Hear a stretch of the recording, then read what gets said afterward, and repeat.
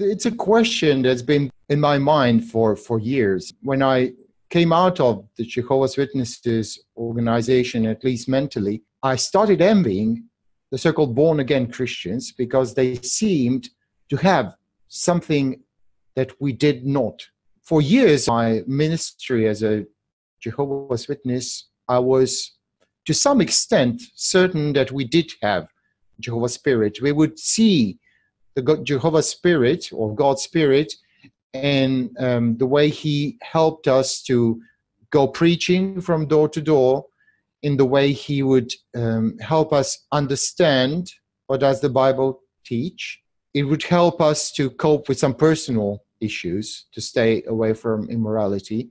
And I cannot say that God's Spirit was not there. When I look back now, it will be wicked of me to say that there was no God Spirit and too presumptuous and even too proud and too negative. However,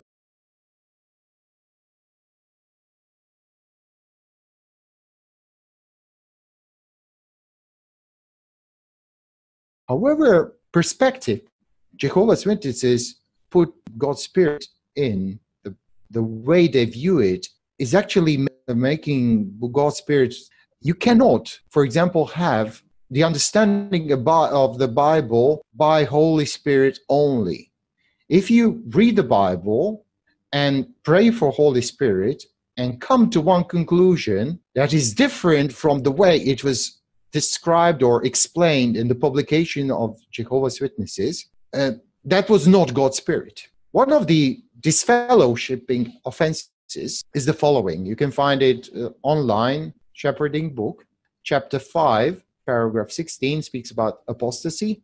Apostasy is standing away from true worship, a falling away, defection, rebellion, abandonment. It includes the following. And down below it says, deliberately spreading teachings contrary to Bible truth as taught by Jehovah's Witnesses. In other words, Jehovah's Witnesses have the truth, and only they have the truth. If you, by reading your Bible, come to a conclusion that's different from the teachings of Jehovah's Witnesses, you're an apostate. You didn't do it with the help of Holy Spirit, but rather the spirit of, as the scriptures there say, the Antichrist. So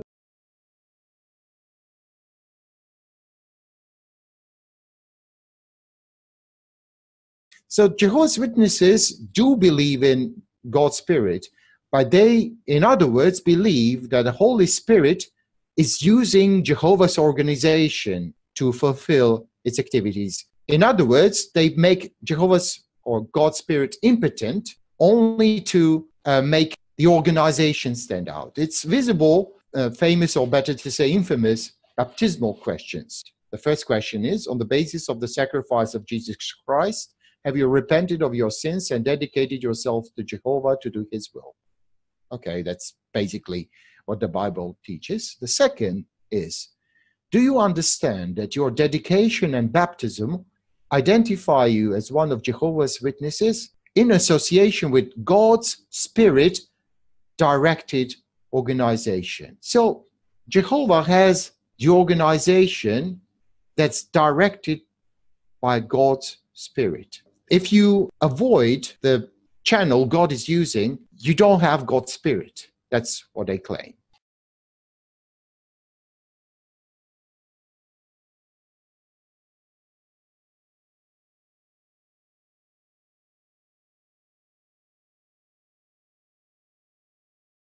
Once Jehovah's Witnesses become ex Jehovah's Witnesses and realize that there have been people have been telling them lies, they still stay in a vacuum, like a airtight space. How can we recognize Holy Spirit? In my former congregation, this was the most used uh, reason for disfellowshipping anyone. When all others other proofs failed, then two elders or three elders would visit, pay a friendly visit to a person, their brother, and they would make him angry, and he would start shouting and then they would say, Oh, you're not obeying Jehovah's arrangement. You see, we are appointed by Holy Spirit, and we are elders because of Holy Spirit put us here. and you are defying Jehovah's arrangement, and it's you're an apostate. And some, unfortunately, have lost their health and they have lost everything they had because the uh, Spanish Inquisition-like elders visited them with this line in their in their shepherding shepherding book.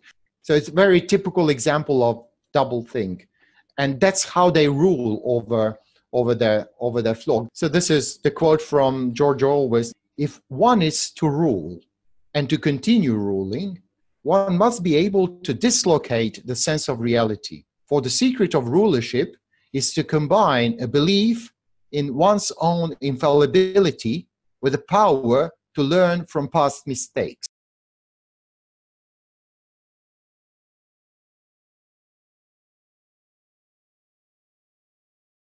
This is the purpose of Jehovah's Witnesses. With their fallible, infallible governing body, with their inspired, spirit directed brethren, they make all things come together. This creates this mental confusion, and people who are part of the flock become disoriented, and it's very, they're an easy prey to the men who then introduce false teachings. And by introducing false teachings, they take people after them.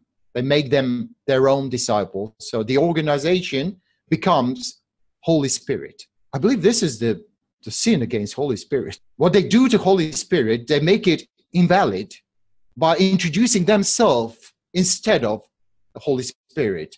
Do we or don't we have Holy Spirit? How can we tell that we have Holy Spirit? I was dealing with this question personally for a long time, and a couple of days ago, I had a close encounter with a born again Christian. And first, I envied uh, the person because spoke in tongues and she had this passionate expressions about jesus about about god but then i remembered my very first experience with reading the bible i remember the first time i was reading the book of matthew it was even before i started i started studying with jehovah's witnesses and i remembered the moment and i could feel it even physically the moment when i realized that Jesus exists and that his words are true. I will never forget that moment, even when I was asked those questions prior to my baptism, when uh, the brother there asked me if I believe in Jesus Christ. I remembered that thing to happen that happened to me in the past, and I said, "Yes,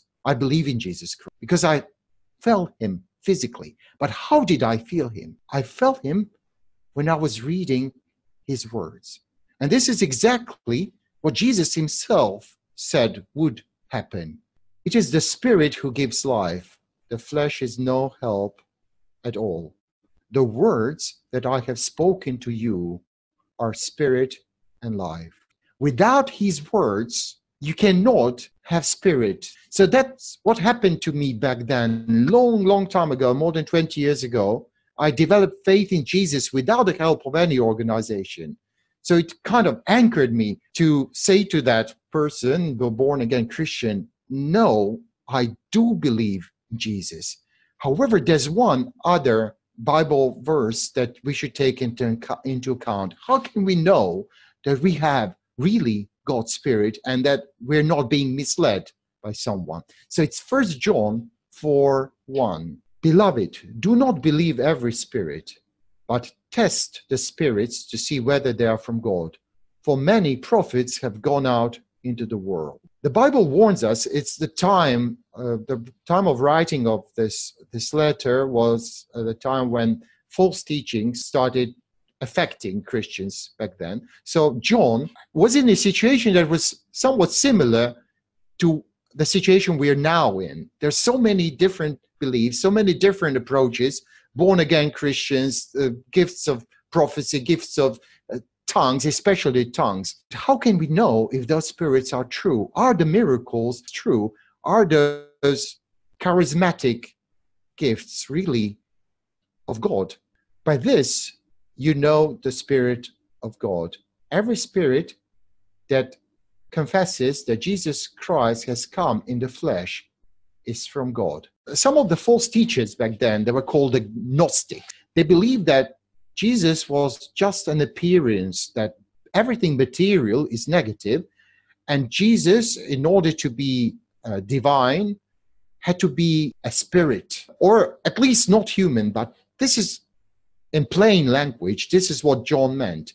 Jesus Christ has come in the flesh. In other words, he was in the flesh, he was a human being. Every teaching, every spirit that says that Jesus Christ was not a human being was not is not from God. So it's not 100 he's not 100% God or 100% human,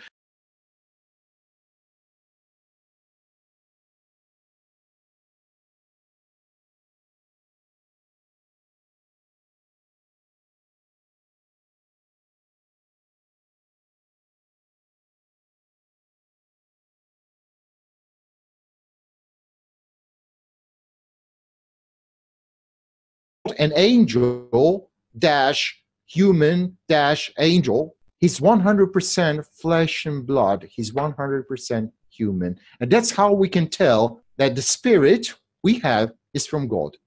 And it's very encouraging to know that that experience gives you peace of mind, gives you stability, gives you hope, gives you courage.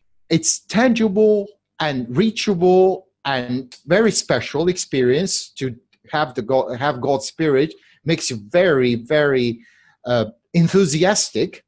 However, stays within the framework of Jesus' words. Through those test phrases, you can always remain secure that the spirit that's motivating you to do God's will is truly God's spirit.